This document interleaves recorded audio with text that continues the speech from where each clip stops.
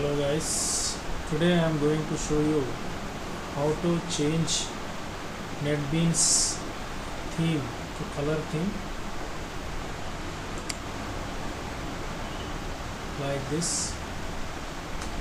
First of all we go to our browser and type netbeansthemes.com and go to this site netbeansthemes.com these are free to download.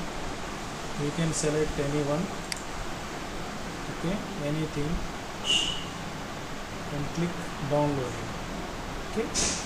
Whichever theme you want you can select and click download. Okay? Anything whichever you want. Huh? like this. Suppose I am downloading this theme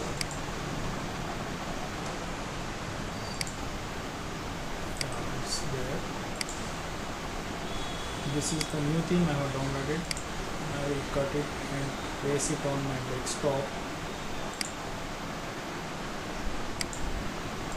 Okay in some folder. I'm placing it on my desktop here. And I will extract it. So this is our theme which we are now going to install in, our NetBeans okay? Now come to our NetBeans IDE go to tools options fonts and colors and click on import.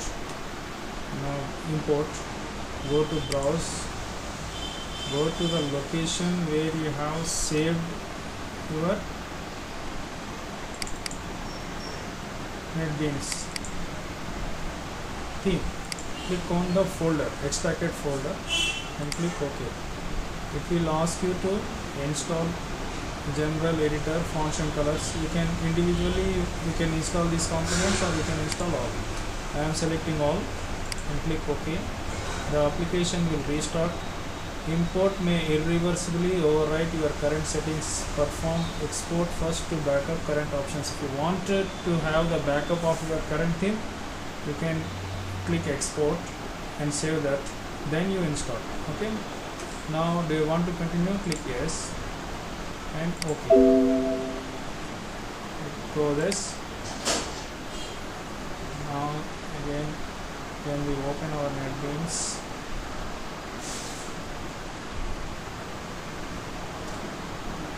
You can see now